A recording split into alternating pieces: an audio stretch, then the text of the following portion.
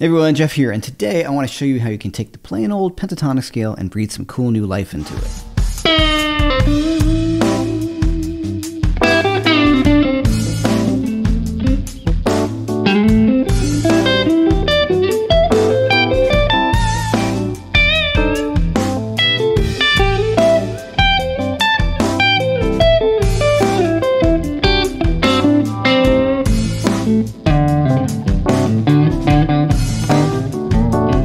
Before we get going, are you interested in learning arpeggios? Well, I have a free ebook available right now by using the link below. It's called Arpeggios Unlocked, a guide to seventh arpeggios, and there are two free accompanying videos. So just sign up, click on that link, hit enroll, and you'll get those for free. Like me, the first scale you probably ever learned is the pentatonic scale. And it's a great scale. It's the one I still think of as the primary scale for soloing for blues, blues, rock, funk, jazz, everything like that.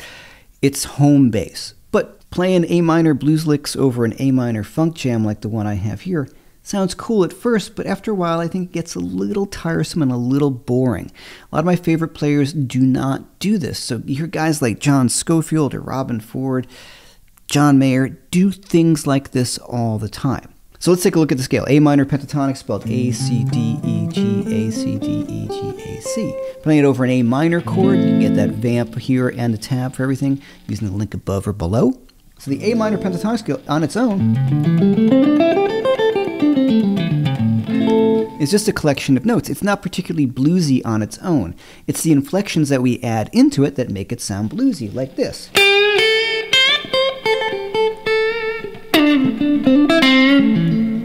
That's what sounds bluesy, but this note combination is itself, like I said, not inherently bluesy which is really cool because if we try to look at the scale not as blues licks or in a bluesy fashion, we come up with some really cool sounds using the same notes.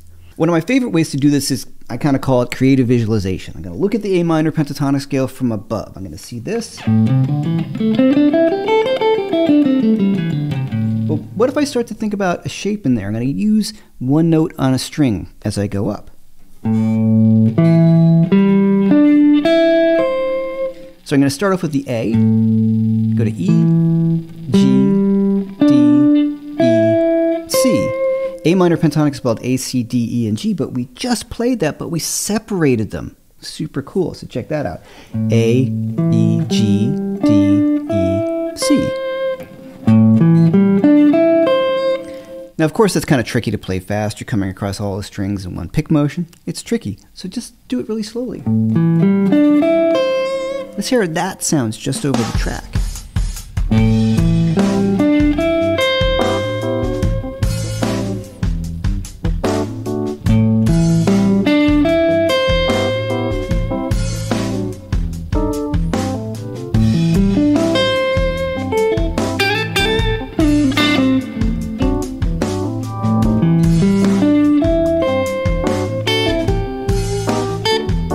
I don't know about you, but I love that sound. It really breaks up the scale, pulls me away from the bluesy ideas, and then I can finish them off with a blues lick. Now, to play all those notes straight through is pretty demanding technically, and it has a particular sound, which can be cool. You definitely want to work on it, but let's take one little idea.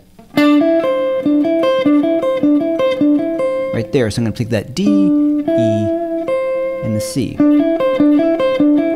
Me do another thing. Let me move that same shape but towards the ceiling one set of strings. So here I'm going to have A, C, G, D, E, C. So you see what I'm doing? I'm just taking one note from each string as I go across the scale of the A minor pentatonic scale. Let's check out that lick. I'm going to finish it off with a blues lick.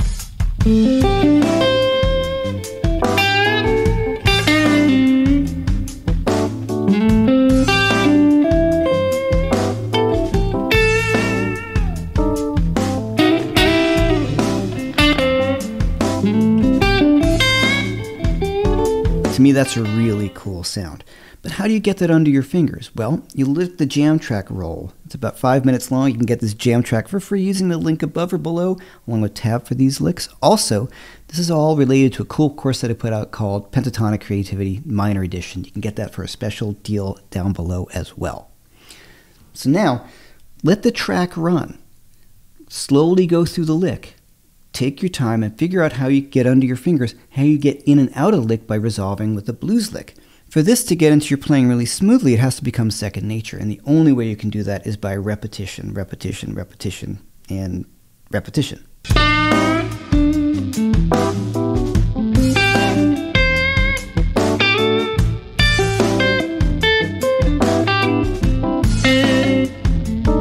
Now let's take that same idea and I'm going to move it to the next position of A minor pentatonic.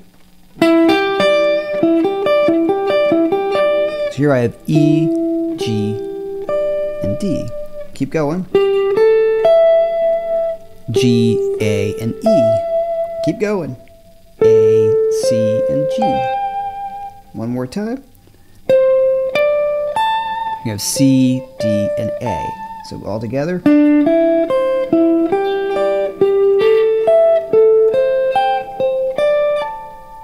Let's hear how that sounds.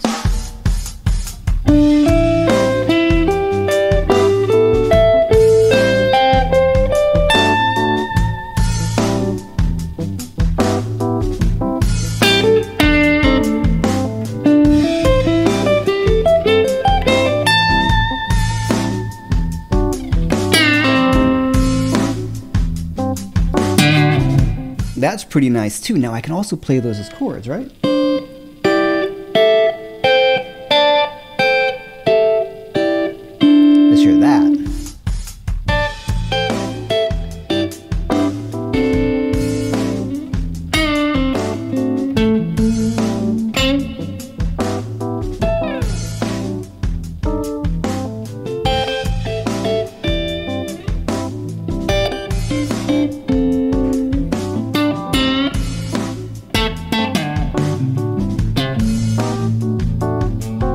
So that sounds pretty cool, right? So we're using them as chord ideas. We can use them as soloing ideas.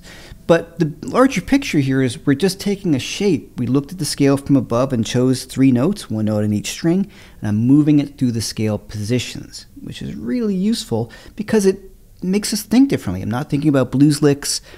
I'm just thinking about being creative on the guitar. And this is where I'm all coming to with this. It's about ways to tap into your own creativity as you work through a pentatonic scale. If you're interested in learning more about this and this kind of idea, you can check out my course called Pentatonic Creativity Minor Edition, which is available for a special price down below. For the last few examples, I just played everything on the top three strings. Of course, I could bring that same idea and shape down a set of strings.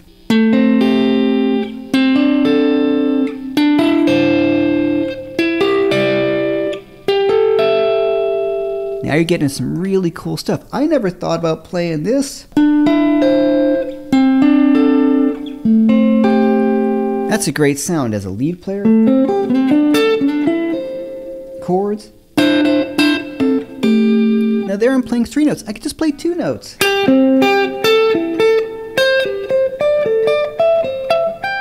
Just taking any shape of the pentatonic scale. So if you take the A minor pentatonic scale fingering across all the strings, just pick a pattern. Choose some notes, see a shape, and work through it. Thanks so much for checking us out. And if you enjoyed my video, please hit the like and subscribe button. It really helps a lot. Don't forget you can use the link below and get the free backing track and tab for this lesson. Also, you can get my free ebook, Arpeggios Unlocked, a guide to seventh arpeggios, along with the accompanying free mini course videos using the link below.